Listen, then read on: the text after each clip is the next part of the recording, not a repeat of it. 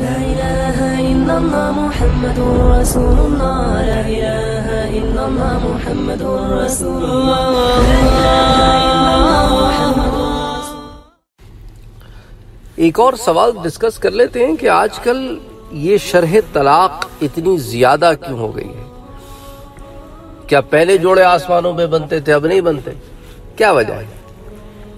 دیکھیں، اللہ تعالیٰ نے تقدیر میں جو جوڑے لکھے ہیں، وہ جوڑے ہوتے ہیں۔ طلاقیں پہلے بھی ہوا کرتی تھیں، طلاقیں اب بھی ہوا کرتی ہیں۔ طلاقیں صحابہ کے زمانے میں بھی تھیں، تابعین کے زمانے میں بھی تھیں اور بعد میں بھی رہی ہیں۔ شرح طلاق کیوں بڑھ گیا ہے؟ پرسنٹیج آف طلاق بڑھ کیوں گیا ہے؟ ہمارے معاشرے میں طلاق کا عنصر پہلے بہت کم تھا۔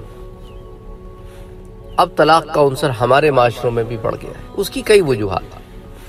ایک وجہ تو یہ ہے، شعور۔ خواتین کو بھی ایک شعور آ گیا ہے۔ پہلے ظلم ہوتا تھا، زیادتی ہوتی تھی، جبر ہوتا تھا۔ ہندوانہ تہذیب کی چھاپ تھی، وہ ریٹیلیٹ نہیں کرتی تھیں، وہ برداشت کرتی رہتی تھیں۔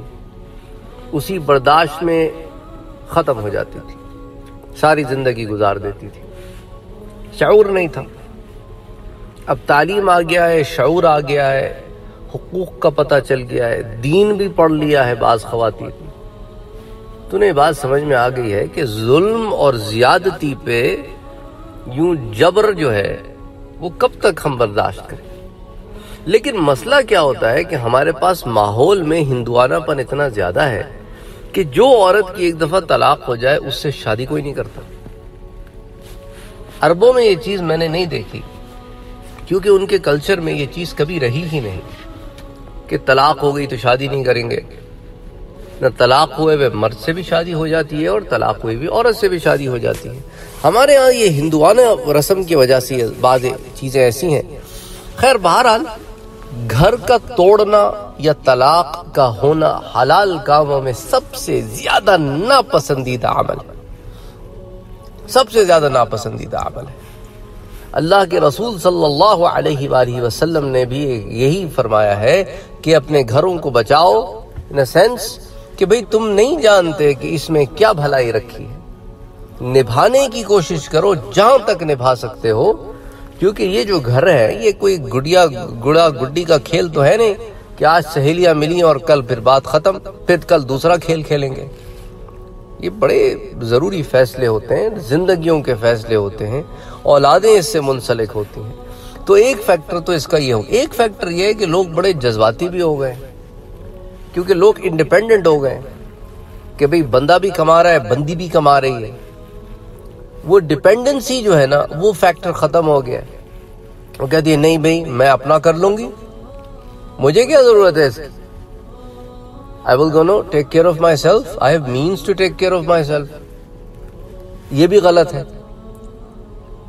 تیسرا ایک ریزن یہ ہے کہ پہلے جوائنٹ فیملی سسٹم میں رہتے تھے، چیزیں بیلنس آؤٹ بھی ہو جاتی تھیں، جہاں ڈس ایڈوانٹیجز تھیں، وہاں ایڈوانٹیجز بھی تھے۔ اب ساری ذمہ داری سب کے سر پہ خود پڑ گئی ہے، کیونکہ انڈیپینڈنٹ رہنا چاہتے ہیں، الگ رہنا چاہتے ہیں۔ اور ایکسپینسز بیر نہیں کر سکتے، الگ رہنے کی اخراجات برداشت نہیں کر سکتے۔ تو میاں بیوی دونوں جٹتے ہیں کام کرنے کے لیے کہ ایک کی تنخواہ میں گزارا نہیں ہوتا۔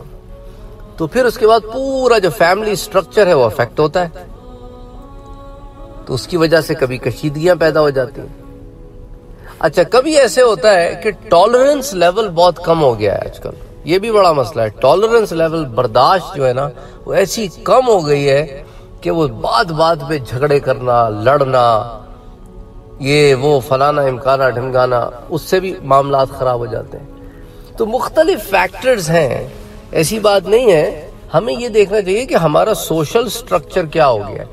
ہم پہلے سے جو اپنے آپ کو کمپیئر کرتے ہیں نا، اب آپ یہ دیکھیں نا، گھر میں جب آپ آتے ہیں تو ہم کتنا وقت فیملی کے ساتھ گزارتے ہیں اور کتنا وقت ہم گیجٹس پہ اور ٹی وی پہ گزارتے ہیں۔ تو وہ کوالٹی فیملی ٹائم جو ہوتا تھا نا، وہ اب سب کا افیکٹ ہوا ہے۔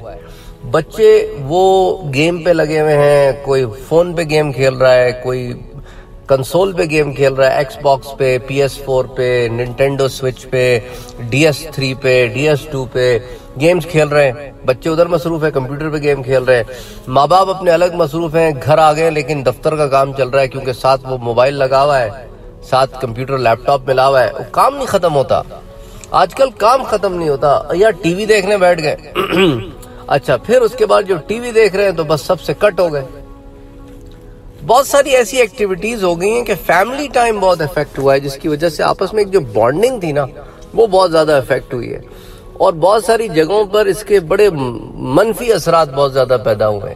جہاں مؤثر اثرات ہیں، وہاں منفی اثرات پازیٹیو کے ساتھ نیگیٹو اثرات تو اب ٹیکنالوجی تو ہے، ہمارے اوپر ہے کہ ہم نے اس کو کیسے استعمال کرنا ہے۔ اب ہمارے ساتھ پرابلم یہ ہوا ہے، جیسا ہمارا میڈیا ہے۔ ہمارا میڈیا آزاد ہوا تو کنٹرول نہیں ہے۔ نیوز چینلز ہمارے آزاد ہوئے تو کنٹرول نہیں ہے ابھی وہ ابھی وہ پینڈولم ہوتا ہے نا پینڈولم گھڑی میں آپ نے دیکھا، پہلے زمانے میں پینڈولم ہوتا ہے۔ اس کو کھینچ کے چھوڑو نا تو بڑی طاقت سے دوسری طرف جاتا ہے۔ تو پہلے اتنا جبر تھا، اب چھوڑا گیا تو وہ بالکل دوسری طرف نکل گیا۔ وہی حال سارے معاشرے کا ہوا ہوا ہے۔ معاشرہ اس وقت دوسری طرف نکلا ہوا ہے سیٹل نہیں ہوا۔ ابھی یہ معاشرہ سیٹل ہوگا۔ جب یہ معاشرہ سیٹل ہوگا نا تو اس کے بعد ایک سیٹلڈ سوشل انوائرمنٹ ہوگی۔ ابھی وہ سیٹلڈ سوشل انوائرمنٹ نہیں ہے جس کو آپ کہتے ہیں نا کہ ٹھہر جب پانی کے اندر آپ کوئی چیز ہلائے نا، مٹی بھی ہونی چاہیے، تو مٹی بھی ساتھ گھومتی ہے۔ پھر مٹی طے میں بیٹھتی ہے۔ تو ابھی مٹی گھوم رہی ہے پانی کے ساتھ، تو اس کی وجہ سے ایک گدلا پن معاشرے میں آپ کو نظر آ رہا ہے۔ بہت سارے فیکٹرز ہمیں سٹڈی کرنے ہوں گے کہ کیا وجہ ہے کہ آج کل بہت ساری چیزیں ہو رہی ہیں اور یہ ایک بات نہیں ہے کہ ہمارے علاقے میں ہو رہی ہیں، پوری دنیا میں اس کا ایفیکٹ آ رہا ہے، کہیں زیادہ، کہیں کم۔ تو کوئی بھی حتمی فیصلہ کرنے سے قبل ہمیں ان کے فیکٹرز کو اینالائز کرنا ہوگا۔ اسی لیے اس بارے میں ہم کوئی حتمی رائے نہیں قائم کر سکتے کہ لوگ برے ہو گئے ہیں یا کیا وجہ ہے؟ بہت سارے فیکٹرز ہیں جو انڈیویجولی انفرادی طور پر لوگوں کو افیکٹ کر رہے ہیں اور اجتماعی طور پر کلیکٹیولی معاشرے کو افیکٹ کر رہے ہیں۔ اللہ تعالیٰ سب کے گھروں کی حفاظت کرے، میاں بیوی پیار محبت سے رہے۔ ایک اور فیکٹر جو اس گندگی میں ہے وہ یہ ہے کہ چونکہ ہر چیز کھل گئی ہے نا، ہر چیز کھل گئی ہے۔ ہر ایک نے ہر کچھ سب کچھ دیکھ لیا ہے یا سب کچھ دیکھنا چاہتے ہیں تو ایک ایکسپیکٹیشنز ہوتی ہے نا، وہ ریالٹی سے کلائم اپ کر کے ایک سپرفیشل ورلڈ میں چلی گئی ہے۔ تو ریالٹی ہوتی ہے نا، ایک آدمی ہوتا ہے نا، پہلے ہوتا تھا ریالٹی پہ باتیں ہوتی تھی اب کیا ہو گیا ہے کہ ہر ایک کو وہ ایک ایسی چیز چاہیے جو ایگزسٹ نہیں کرتی تو اسی لیے وہ خوش نہیں ہے سیٹسفائی نہیں ہے اپنی لائف میں۔ اب ہر ایک کو اپنے گھر میں وہ ایک مووی کے سکرین پہ دکھنے والی لڑکی چاہیے، اسی رول میں اچھا وہ جو مووی میں دکھنے والی لڑکی ہے، وہ خود بھی ریالٹی میں ویسی نہیں ہے، وہ تو کتنے لیئرز آف میک اپ کے بعد ایسی نظر آتی ہے۔ اسی طرح اس کو بھی بندہ ایسا چاہیے جو وہ ہیرو جیسا ہو نا۔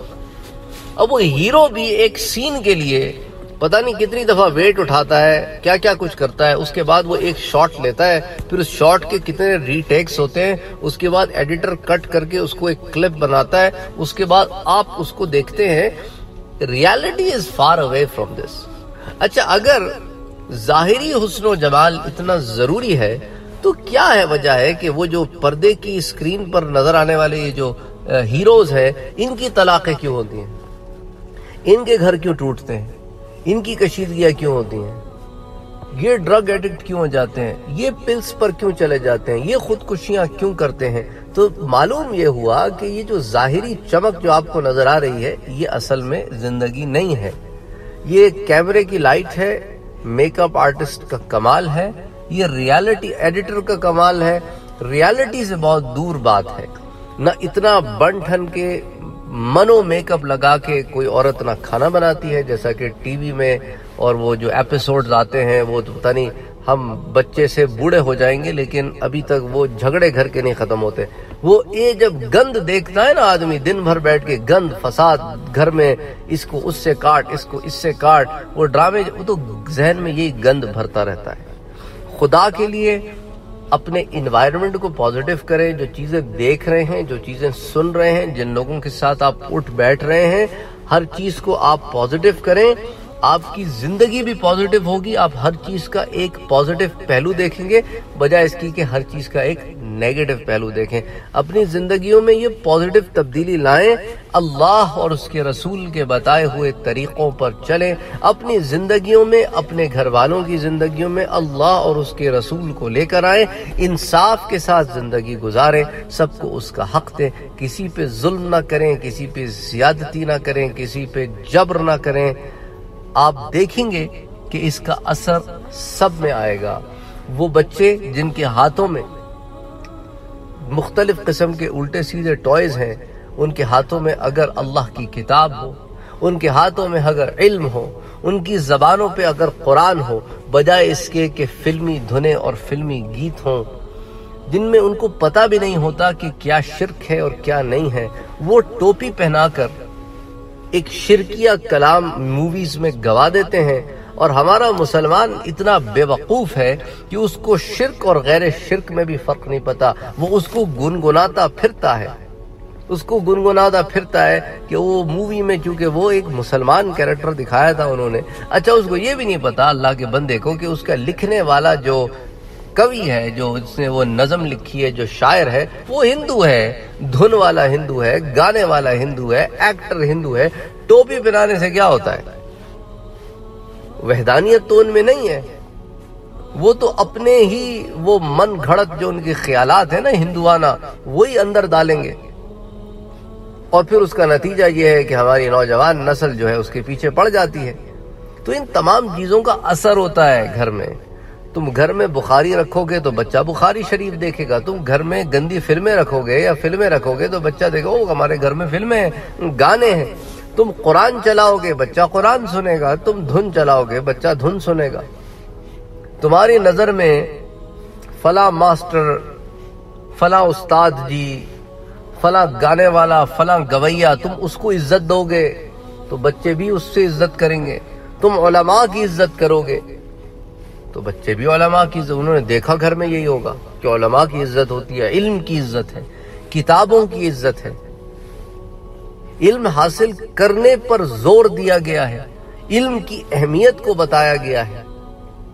ہمارے گھروں میں یہی ہوا کرتا تھا کہ علم کی اہمیت ہوا کرتی تھی۔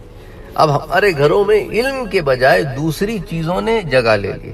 یہ تمام فیکٹرز کو اگر آپ اینالائز کریں اور دیکھیں کہ یہ جو ہماری خواہشات کے گھوڑے ہیں نا، انہیں ہمیں لگام دینی ہوگی۔ ہماری خواہشات اتنی ان گنت ہیں۔